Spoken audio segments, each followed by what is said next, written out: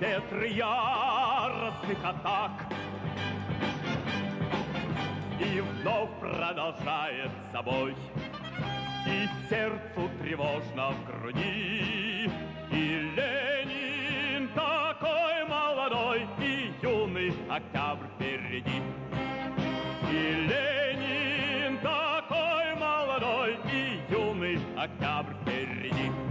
Да, вот были же песни, которые прямо-таки до мурашек пронимали.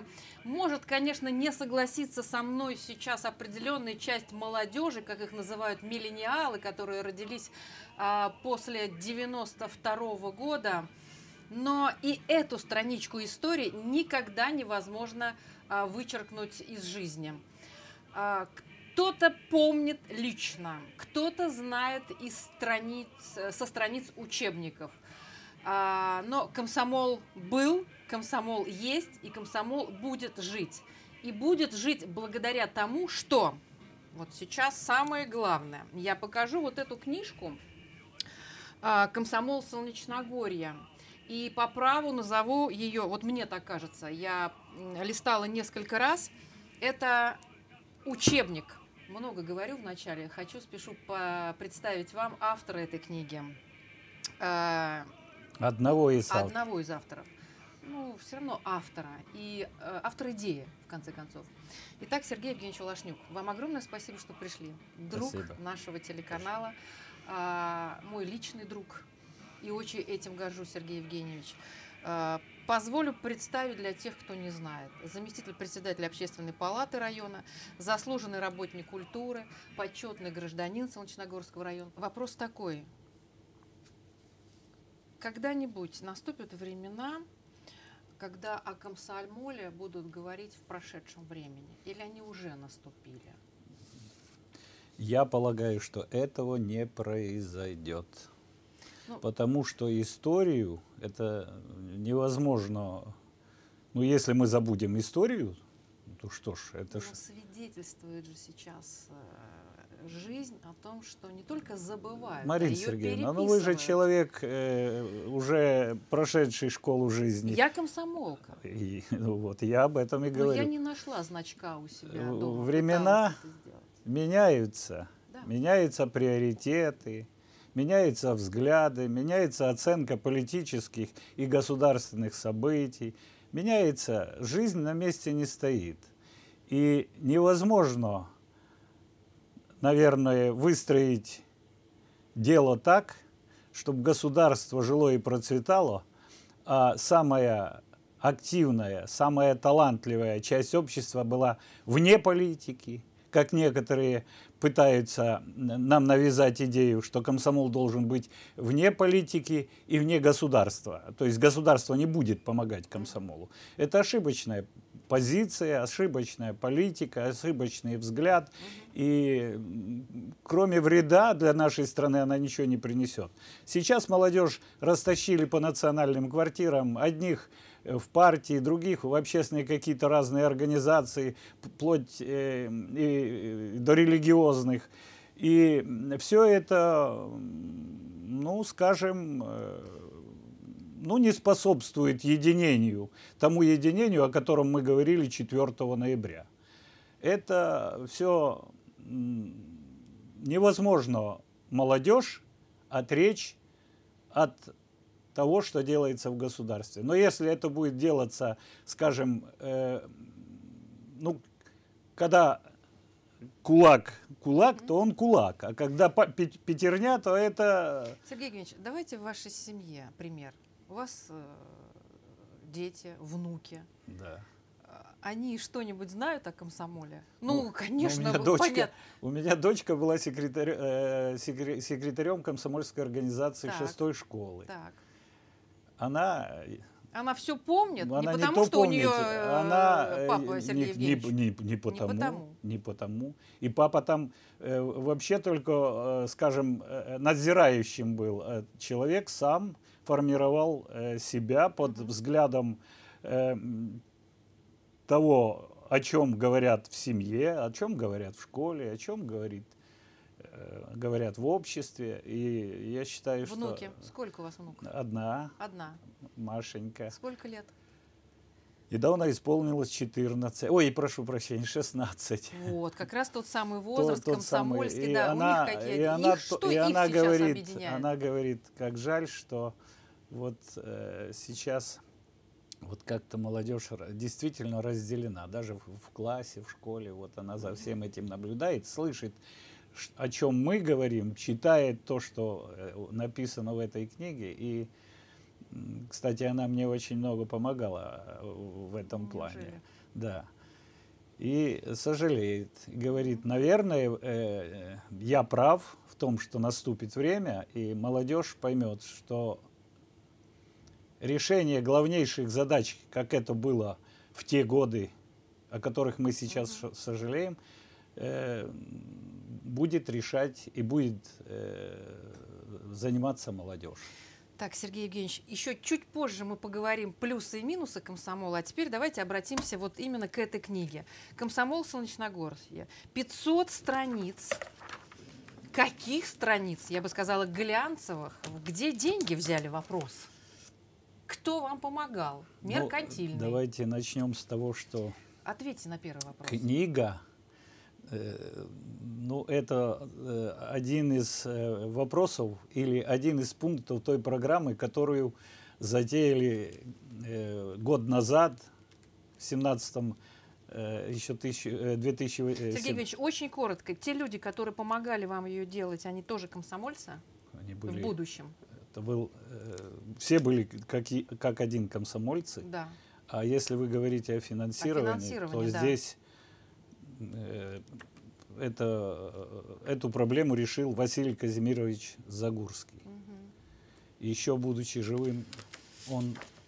На первой страничке он здесь, да? Да, да, да. да. Мгм. Э, не- э, нет, э, Да. там дальше Мгм. в этом.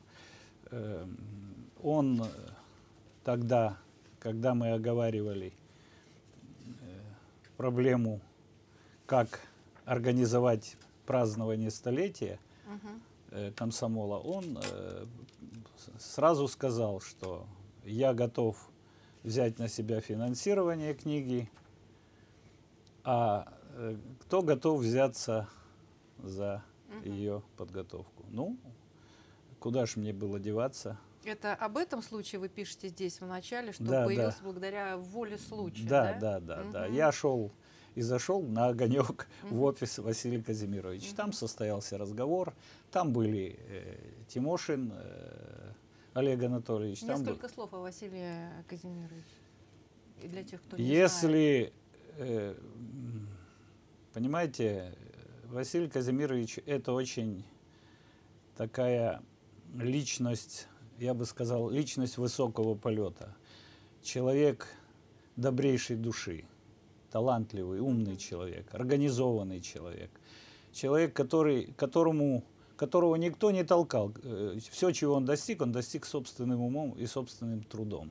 Он прошел хорошую школу. Он и в армию, армию отслужил, институт закончил, э, микрорайон ЦМИС, э, э, центральную машину-испытательную станцию э, пришел, там возглавил комитет комсомола, потом стал вторым секретарем горкома комсомола, первым секретарем, ушел возглавлять стройотряды э, комсомола Московской области, потом работал в аппарате э, э, областного комитета партии, возглавлял наш горком комсомола нашего района. Это человек, который знал жизнь, знал людей, умел с людьми говорить, он понимал их и всегда был на их стороне. Он, э, вот мой, на мой взгляд, он был совершенно нетипичный чиновник того времени, нетипичный. И но- я так понимаю, эта книга отчасти да, не Эта э, книга, это э, тяжелейший труд, и я никогда бы э, не взялся за нее, если бы это не случилось, вот этот разговор э, при встрече с ним. Сергей Евгеньевич, это настоящий учебник, да, почти 500 страниц. А, Это конечное или вы а, отсекли что-то и могло бы быть больше? Вы знаете, вот как так всегда бывает, что когда ты книгу уже э, издал, Мгм. Появляются какие-то новые, более интересные данные, материалы, и думаешь, вот бы сейчас эти данные, я бы их использовал и так сказать, далее. что будет И, продолжение? да, я думаю, после того, как книга разошлась по району, Мгм.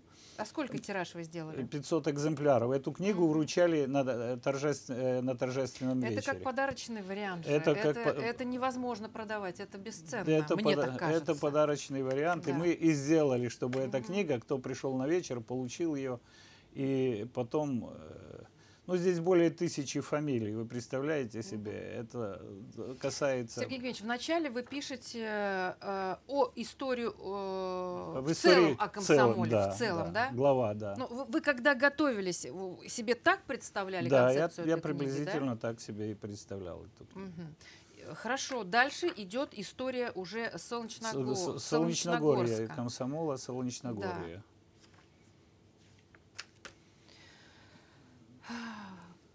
Я много раз листала эти страницы и видела эти а, архивные фотографии. А, Первый вопрос.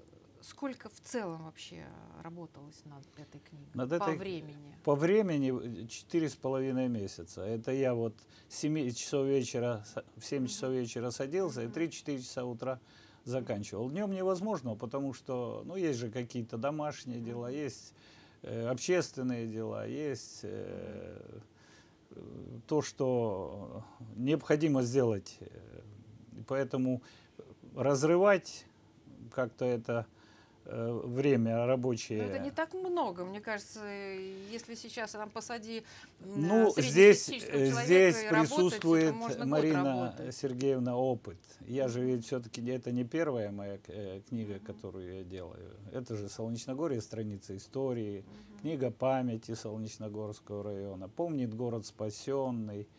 Потом э, путеводитель по Солнечногорью. Это уже опыт есть определенный. Сергей Евгеньевич, вот эта фотография прям бросается в глаза. э, Это видно, что очень старая фотография. Это э, Девяткина, да? Да, Откуда вообще? Это сразу в восемнадцатом Да. году была э, руководитель, она была э, членом партии, но была руководителем детского подросткового клуба, который потом влился э, в комсомольскую организацию после э, первого съезда комсомола. Андреевская ячейка. откуда? Андреевская ячейка. Это из, э, из архива нашего музея и сохра- сохранилось. Ну, вы там ночами сидели в архиве? Вас Ну, удивляли э, находки, которые я вы хочу делали? Или сказать, вы все что это знали? Я многое знал, э, ведь э, история Солнечногорья для меня, э, скажем так, не новая тема. И я многое видел, работая над предыдущими книгами. Я знал, где приблизительно что находится.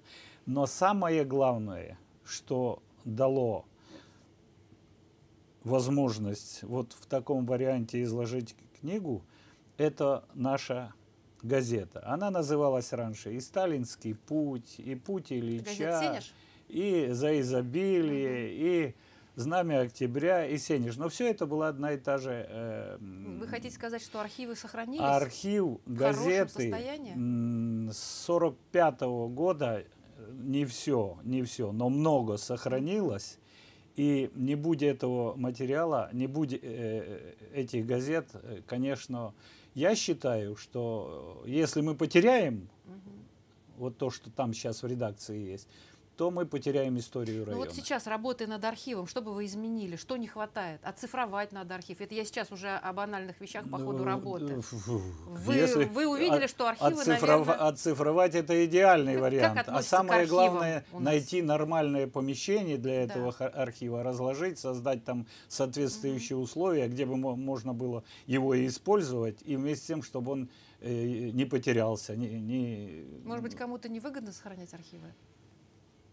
Я не думаю. Хотя, когда я э, просматривал, вернее, искал некоторые годы конкретно, Мгм. то э, у меня сложилось такое впечатление, что в, в- в течение каких-то лет Какие-то провалы, ком- да? бы- Мгм. были провалы, и эти провалы случились э, Мгм. благодаря или тому, что кто-то приложил к этому руку. Мгм. Вот, вот просто листаю, ну я не знаю, вот можно методом тыка. а, Вот Владимира вот, Кузьмина, да. вы знаете э, нашего? Это Ветерана. человек, э, который Да. возглавлял нашу э, об- э, общественную организацию Мгм. воинов, афганцев, воинов-интернационалистов, мгм. который э, работал в горкоме комсомола. Это его э, родственник, это вот его прадедушка. А э, э, Девяткина тоже Мгм. его э, дальняя родственница. Вы хотели книгу издать, Сергей Евгеньевич, именно такую большую? Или вы, когда работали, даже не знали, во что это выльется? Нет, я предполагал, что, Что это, это будет порядка, формат, порядка да? 500, 500 Мгм. экземпляров, э, то есть Мгм. 500 страниц э, книга. И поэтому чуть мен- меньше вышло, но я думаю, что теперь, когда мы соберем еще а материал, я вам скажу, вот буквально несколько дней назад я позвонил э, э, Зинаиде Гоголевой. Ей будет э, в мае месяце 82 года.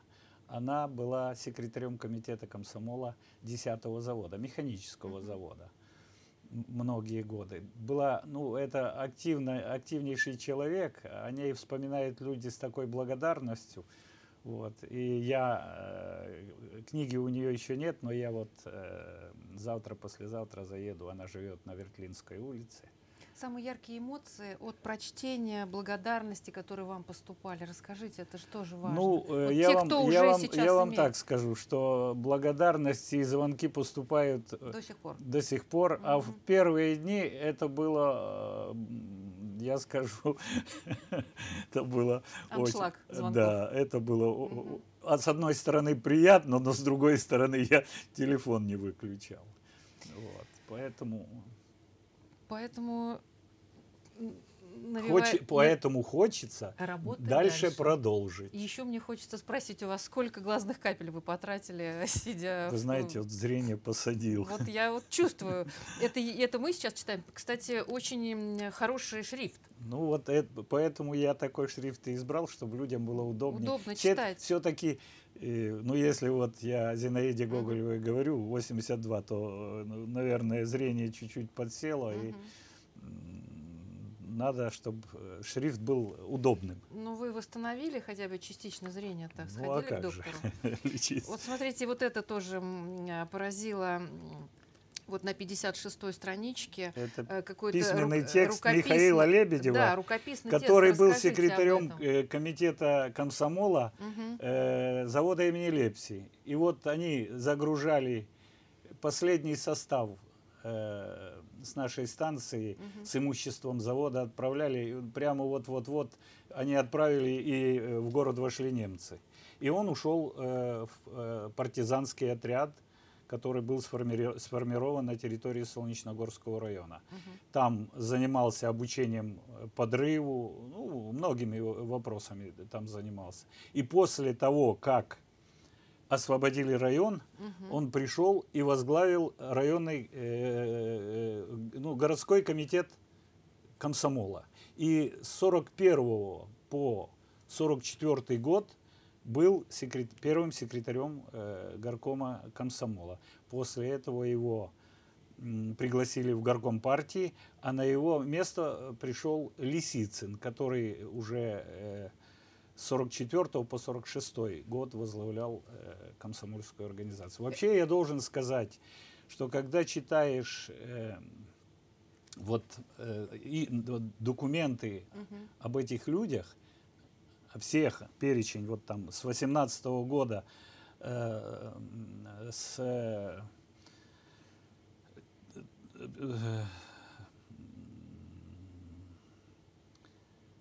с Лухманова, начиная, с первый человек, который является организатором э, комсомола на, на нашей земле, Дмитрий Лухманов, то видишь что личности все были в высшей степени достойные. Вот все секретари, о ком я сегодня, о ком там написано, и о ком я сегодня могу сказать, это в высшей степени э, люди достойные того, той должности, которую они занимали. Сергей Все без исключения.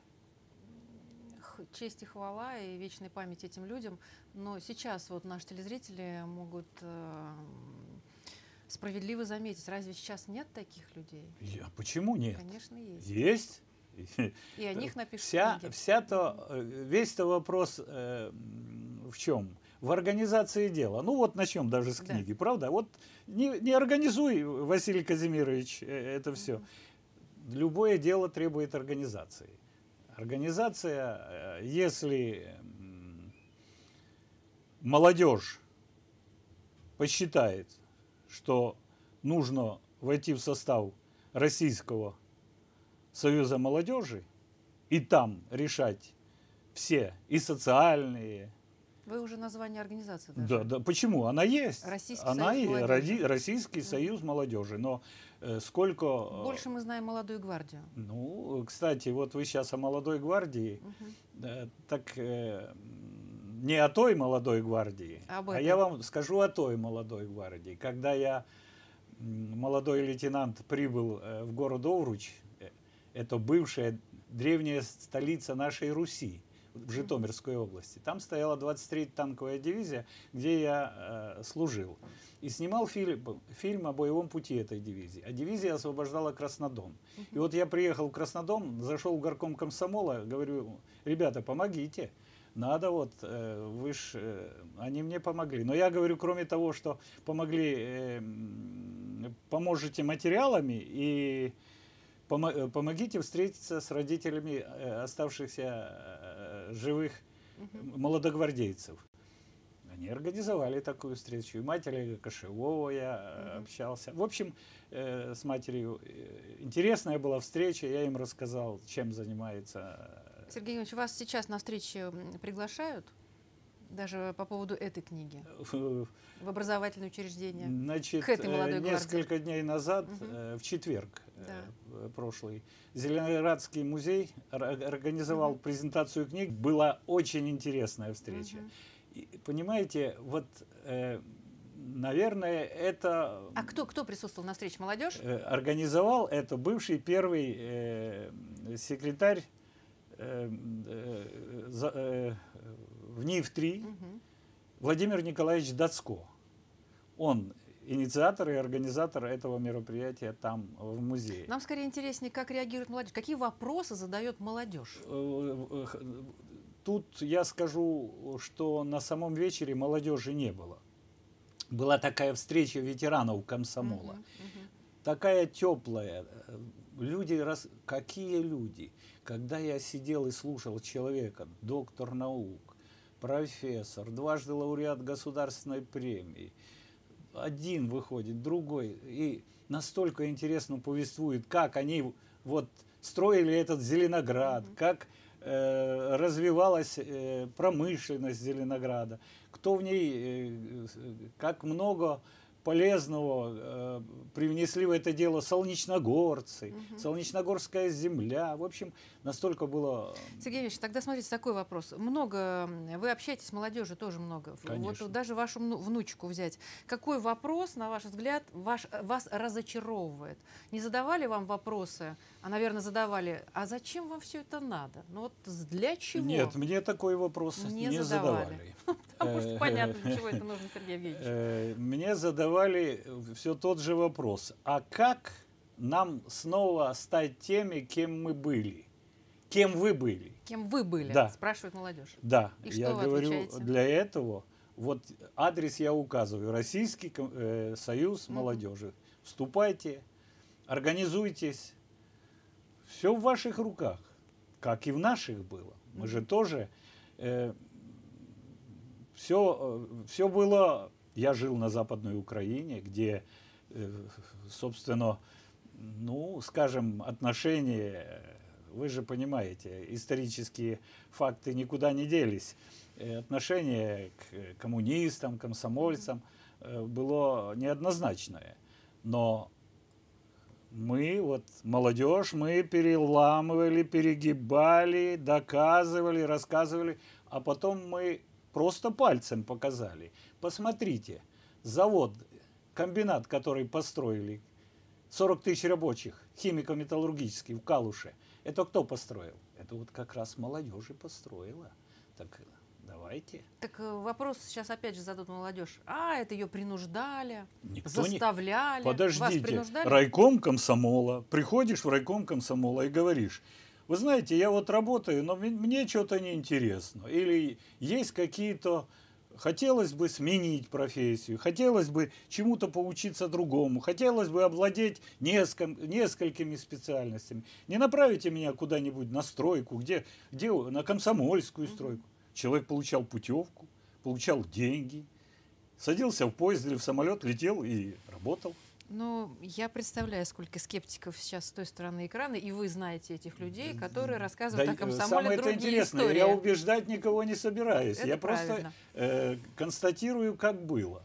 Давайте обратимся опять э, к страничкам вашей книги. Я рекомендую всем почитать те, кто скептически относится. Это же документы. Здесь хоть одно слово есть э, от, э, скажите, от Не- автора или оценочника? На, на- на- основании документов. На основании документов. Вот это, пожалуйста, документы. Правильно я говорю, что это где-то Советская площадь, да? Да, Наша, это э, Что дом, за- дом, который Да. стоит э, вот угловым, Мгм. угловой дом напротив кинотеатра, э, и балкон этот, э, с которого э, 12 декабря 1941 года э, уже говорил, э, власть э, оповещала жителей о том, что город освобожден, и состоялся митинг. Ну, а за этим, понятное дело, восстановление самого города. И 15 числа, 15 декабря 41 года весь район уже был освобожден. Значит, задачи были, скажем так, серьезные, важные, и люди их решали. Сколько дней, я не знаю, нужно было провести в архиве? Вы по каким-то критериям отбирали фотографии? Были фотографии совсем старые, которых вы пожалели, вот их надо было брать, но невозможно было эм, Я в печать э, отправлять. старался, э, в общем, относиться к этому с большим, с большим и трепетом, уважением и пониманием. Э, Я перефотографировал просто Мгм. хорошим. э, То есть на вынос не давали? Нет, на вынос тоже мне Можно не было. было. Для меня не было вопросов, что там э, взять или не взять, но я иногда и задавал вопрос. э, надо думать не только о себе, надо думать и о том, что после меня еще придут и, может быть, напишут и издадут книгу Мгм. Посерьезнее. Сергей Евгеньевич, вот об этой фотографии э, что можете? Об этой сказать, фотографии да. можно рассказать много интересного. Кстати, в книге есть описывает, описан этот э, случай Иларион Михайловичем Ильиным, который вот слева второй на снимке. Он был в то время заведующий орготделом горкома комсомола. А рядом с ним Евгений Сергеевич Рычин, это первый секретарь. Мгм. Вот э, в 1954 году всех, э, было объявлено, э, скажем, э, был объявлен призыв э, на покорение Целины, и Солнечногорский район формировал два отряда по 30 человек. Вот они сформи- были сформированы, и их про- сопровождал э, на Целину э, Иларион Михайлович Илин. А за этими э, э, отрядами уехал и сам э, первый секретарь, который там возглавил совхоз, потом э, возглавил МТС, а далее э, вернулся обратно, вернули его обратно в Подмосковье, и это человек, который со- стоит у истоков создания вот этого всего тепличного хозяйства вокруг э, Москвы. Вот э, вроде совхоза Грудинина. Э, Поэтому эта личность, э, в- которая почитаема среди тех, кто занимался вопросами сельского хозяйства, это личность, скажем так, легендарная. Поэтому в этом учебнике истории комсомола она присутствует. Есть. было что-то такое, скажем так, новое, о чем вы не знали, но работая над этой книгой узнали, какие-то открытия для себя сделали? Вы ну, говорите, я в принципе... Вы должны понять, что я приехал в район 17 э, июля 80 -го года. И э, только с этого периода я как-то э, узнавал жизнь комсомольской организации и комсомола района. Вот, поскольку с тем же Василием Казимировичем э, Загурским мы познакомились вот как раз э, буквально через несколько дней после моего приезда. Э, и до того, что было, конечно же, мне было неизвестно. Я не мог там без документов обойтись, чтобы написать. А все то, что было уже после 80-го года, подавляющее э, число мероприятий, событий, это мне все было известно, но э, нужны были еще подтверждения. Одно дело говоришь, а другое подтверди э, э, документом. Поэтому... А запретные темы были? А, ну, например, вам говорю, Сергей Евгеньевич, вот это лучше... Нет. Э, Нет. Ну, во-первых, мне такого сказать никто не может, потому что я нашел бы достойный ответ. Э, в нынешнее время мы можем говорить и писать. Ну, а во-вторых, я все на, на фактах, на документах и угу. не при, придумывать это можно, но а к чему, когда история настолько достойная, что нет ну, смысла чего-то ну, придумывать. Известные случаи, факты, когда по-прежнему засекречено. Поливать, поливать грязью, понимаете, ну, э, это, это самое простое. Вообще у нас, э, славян, есть вот, я бы сказал, как ныне молодежь выражается, фишка, э, сказать, а вот что-то вот там с ним было. Вот, или, как говорят, или он украл, или у него украли, mm-hmm. и все. И доброе имя человека легко э, опорочить и так далее. Но нужно отдать должное тому времени. Тогда можно было за себя постоять, в чем я сомневаюсь сейчас.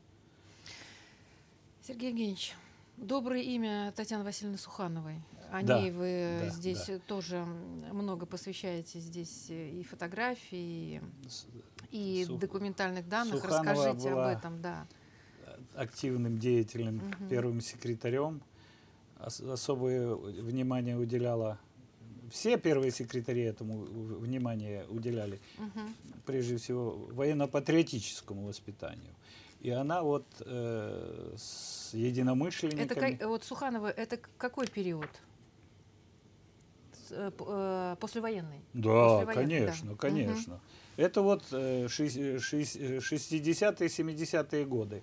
И э, восстановили землянку, у которой находились партизаны Солнечногорья во время угу. э, войны. На этой и фотографии видно, что она в этом туда отряд. месте угу. они проводили много различных мероприятий, угу. вручали комсомольские билеты. Деятельный был человек, и молодежь, молодежь вспоминает, те, кто с ней тогда э, работал, а я угу. беседовал со многими, с ней э, о ней вспоминают с благодарностью. Мы начали... Вот вы да. пролистали да. Светлану Панченко, угу. которая сейчас ведает ЗАГСом. Вот э, фотография. Она угу, была угу. Э, член ЦК комсомола. Это единственный случай, когда, по-моему, единственный, не буду угу. точно утверждать, Э, когда она школьница, школьница, угу. была член ЦК комсомола. Сейчас возглавляет ЗАГС. Да, у нас очень э, талантливый человек. Я вам скажу, ну, э, кто-то не журналист, ага. журналист и Здесь все талантливые историк потрясающий. Мы начали э, с, с легендарной песни, э, называют его гимном. И Ленин такой молодой и юный октябрь впереди. А, хочу вот перейти немножко комсомол и музыка. Вот эта фотография, 244 страничка. Владимир Владимир Высоцкий. Высоцкий в метрологе. Наверное, многие люди э, и не знают об этом. Да нет, в, э, в Менделеева знают все точно. Ну, Менделеева точно. А в районе, конечно, Да. конечно. Вот расскажите. Но э, эта фотография э, в доме метролога была сделана. И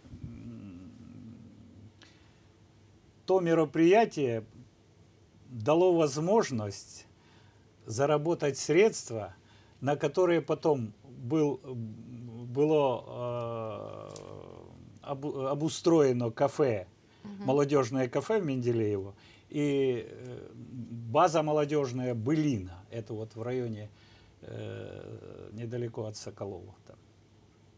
Ну, вы говорили мне до эфира, что это было не совсем законный путь. Не, ну, тогда же билеты, вы же понимаете, Ну да. э, все билеты должны быть э, под, под номером, все это. Ну, э, я скажу так, не совсем, э, но это не Я имеет, почему что? это не имеет значения. Но в те времена, когда Да. было так Но- строго. Ну, строго, но видите, даже вл- власти контролирующие закрыли глаза, потому что на благое дело. Никто не утащил и никуда э, не отнес.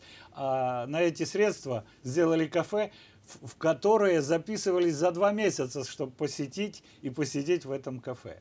Понимаете? И дальше в продолжение э, музыкальной темы комсомола. Вот эти фотографии. Расскажите, пожалуйста, Вот. для тех, кто не знает, да. Э, Ну, э, вы, наверное, встречались с этими людьми. Ну, по крайней мере, с одним из них это Мгм. точно. Михаил Рослов. Он и Мгм. есть инициатор и руко- бессменный руководитель коллектива «Круговорот», который вот в 70-е, 80-е годы пользовался потрясающей э, популярностью здесь у нас. Вот все вечера танцевальные, которые были в парке, там э, яблоку негде было упасть. Ну вот на фотографии вы видите, Да, на второй, да. сколько было Мгм. наро- народов. Так, а другие стояли за оградой этой, смотрели, как э, люди танцуют, как э, молодцы ребята. Они со школьной скамьи э, создали ансамбль, сами делали аппаратуру, сами э, все служили, все достойные Конечно, ребята. надо, надо понимать и отдать должное, что сейчас э, 17 и 18 год подходит, по- проходят под знаком СССР. Вы это видите, это Да. даже на телевидении. Да. и, э, и в вещах, и в продуктах питания это вернулось. И музыка в том числе, она собирает по-прежнему стадионы. Музыка тех лет. Почему? Ну, э, Как, как если вы для вы себя говорите, это если вы говорите о музыке, то я скажу э, э, на это следующее. Раньше были худсоветы. Вот кто-то скажет, что это меня тут, значит, э, По-моему, ущемляют. тоже есть худсоветы Где? в театрах. В театрах, В театрах Да, это да. вну- внутренний Да. худсовет. А тогда были и внутренние худсоветы. Вот э, я был начальник дома офицеров, у меня был художественный совет. Мы готовили какую-то программу. Эту программу на репетициях смотрели все. Потом мы сидели и обсуждали. Потом на генеральную репет- репетицию приходили, и там мы приглашали и тех же коммунистов, и начальников старших. Вы посмотрите. Это не говорит о том, что было спла- тотальное там, мне не давали дышать, мне Мгм. не давали... Цензура. ц- Ну, была, но не тотальная. Ну, знаете, э, Шнуров, э, э, понятное дело, не мог появиться. И на Первом канале Успенскую, наверное, Суслов в гробу перевернется, увидев ее там. Ну, это, это а вы же... слушаете Шну- Шнурова? Да ну, Вообще ост- никак? ос- остановите А музыку. Успенскую? Да остановите музыку. А я слушаю. Ну, это э, выбор каждого, понимаете? Нет, может ну, быть, это... Ну, да. мат, то зачем? Ну, понятно. Ну, если отсутствует... э, А А как по- же, а как же о том, что а, людей же не заставляют туда приходить? То есть, смотрите, я о чем хочу сказать. Сейчас и музыку Советского Союза слушают, одни и те же люди, я знаю таких, и Шнурова слушают. Не будем Я э, не буду, не буду, не буду феномена. углубляться, но вы знаете, вот этот запретный плод, он всегда сладок.